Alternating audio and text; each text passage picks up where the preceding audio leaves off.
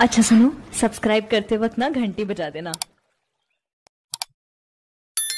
Hello everyone welcome to my channel दोस्तों, प्रश्नावली आठ पॉइंट दो, प्रश्न संख्या तीन, जो कि बहुत ही इम्पोर्टेंट है, हर बार एग्ज़ाम में आता है।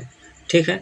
तो यहाँ प्रश्न देखते हैं। यदि टेन ए बराबर ए प्लस बी बराबर रूट थ्री और टेन ए माइनस बी बराबर वन बाई रूट थ्री तो ज़ीरो डिग्री यानी ए प्लस बी नब्बे डिग्री यानी कह रहा है कि ज़ीरो डिग्री से बड़ा तथा नब्बे डिग्री से कम या नब्बे डिग्री हो, ठीक है?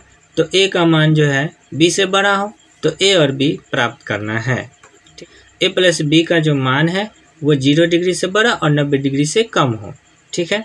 तो ए और बी का मान ज्ञात कीजिए। तो यहाँ लिखेंगे हम हल बराबर। हल बराबर लिखेंगे, चूँकि दिया गया है, दिया गया है टेन ए प्लस बी बराबर रूट थ्री ठीक है?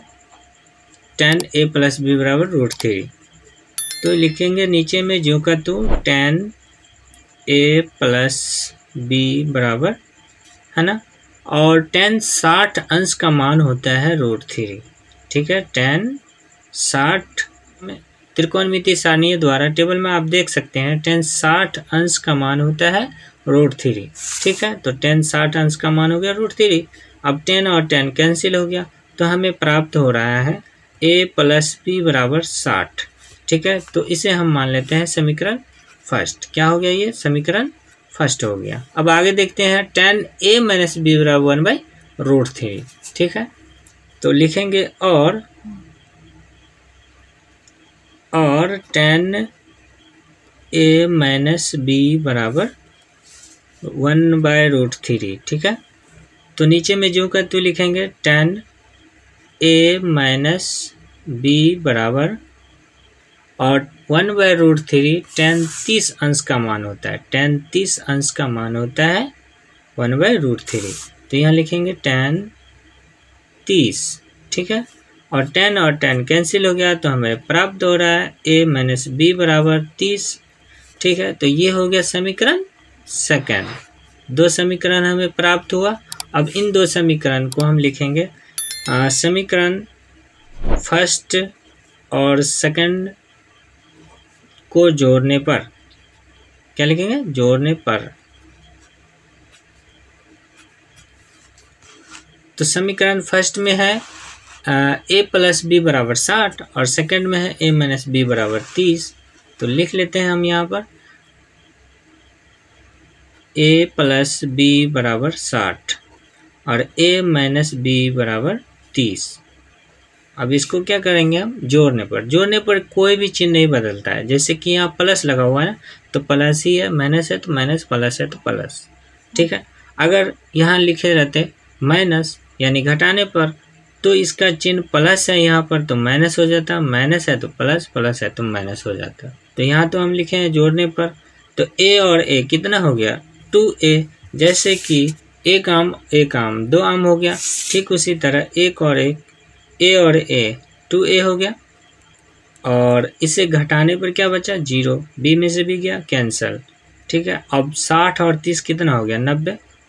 चर और अचर संख्या जिसमें लगा रहे, वो अचर जो है नीचे रहेगा और चर ये वाला ए जो है बराबर में रहेगा। दो नीचे आ जाएगा, नब्बे ऊपर चल जाएगा। भाग देने पर कितना आया? पैंतालीस दूना नब्बे। तो ये ए का मान कितना निकला? पैंतालीस।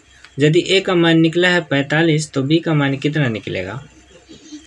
पता है ए का मान निकालने पर बी का मान आसानी से निकल जाएगा। समीकरण फ़र्स्ट और सेकंड, दो प्राप्त है तो समीकरण फ़र्स्ट या सेकंड में ए का मान रख देंगे। ये जो ए का मान निकला है, वो समीकरण फ़र्स्ट या सेकंड में रख देंगे। तो हम यहाँ फ़र्स्ट में रखते हैं। समीकरण समीकरण फ़र्स्ट में ए का मान रखने पर ए का मान रखने पर।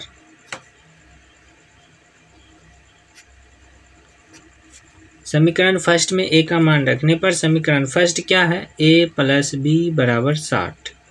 ठीक है? ए का मान तो निकल चुका है ना? तो ए की जगह पैंतालीस लिख देंगे। ठीक है? प्लस बी बराबर साठ।